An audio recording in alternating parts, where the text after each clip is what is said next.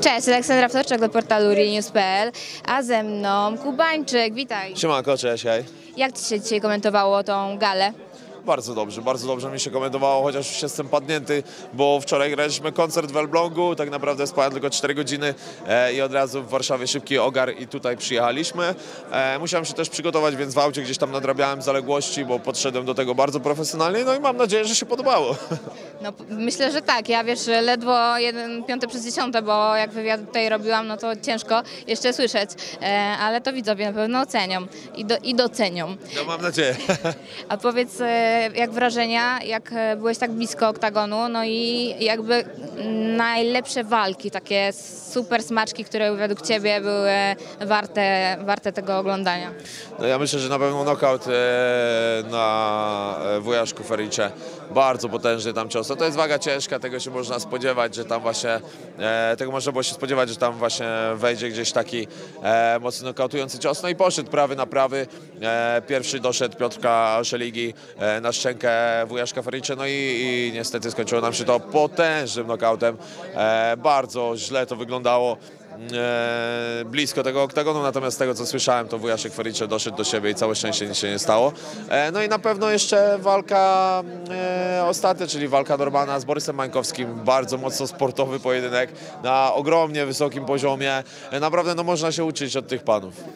No właśnie o tą walkę chciałam Cię zapytać, o main event, o, o Twoje oko, no bo to był sportowy pojedynek zdecydowanie i e, obstawiałeś, że to Borys Mańkowski wygra? Tak, gdzieś tam obstawiałem, że to Borys Mańkowski wygra, natomiast spodziewałem się, że skończy się walka przez e, knockout gdzieś, czy przez e, poddanie, czy prze- przerwanie przez lekarza, bo to jednak 15 minut, walka w małych rękawicach. Myślałem, że będzie tam więcej rozcięć, natomiast e, bardzo sportowo i mocno zawalczyli panowie. Borys kontrolował tą walkę e, cały czas, potem gdzieś tam e, pod koniec jeszcze Norman e, spróbował uaktywnić swoje e, gdzieś tam ciosy, gdzieś się spróbował zaatakować, poszukał gdzieś nokautującego ciosu. No Borys bardzo ładnie to obronił, no i czego efektem mamy zwycięstwo Borysa, także bardzo fajnie to wyglądało. Arkadiusz Tańcula wyzwał Cię do walki potencjalnej i jak Twoje odczucia? Co, jak odpowiesz?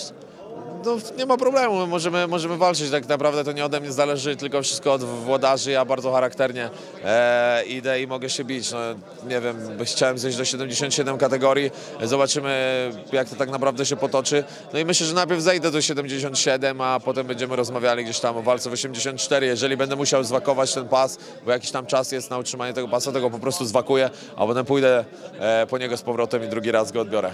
No tak, no bo to by była walka o pas, nie? No tak, tak, tak jest. Który masz. I, Tak, i, leży, leży sobie kulturalnie u mnie nad PlayStation i odpoczywa. Okej, słuchaj, jeszcze Cię e, podpytam o Sylwestra Wardęgę. E, widziałeś z bliska, bo ja nie widziałam tutaj Sylwka. Pewnie jak to strasznie było, widziałam, że strasznie było szkoda go, jak e, w kamerze właśnie był pokazywany cały we krwi. Jak to wyglądało? Wiesz co, no kurczę, no tego można było się spodziewać, to są jednak małe rękawice, bardzo, bardzo łatwo rozbijające gdzieś tam nos, e, wargi, poliki i wszystko inne co na twarzy. E, no nie było tam jakiegoś mocno technicznego pojedynku, tak, E, była tam bardziej osiedlowa zadyma, że tak to nazwę.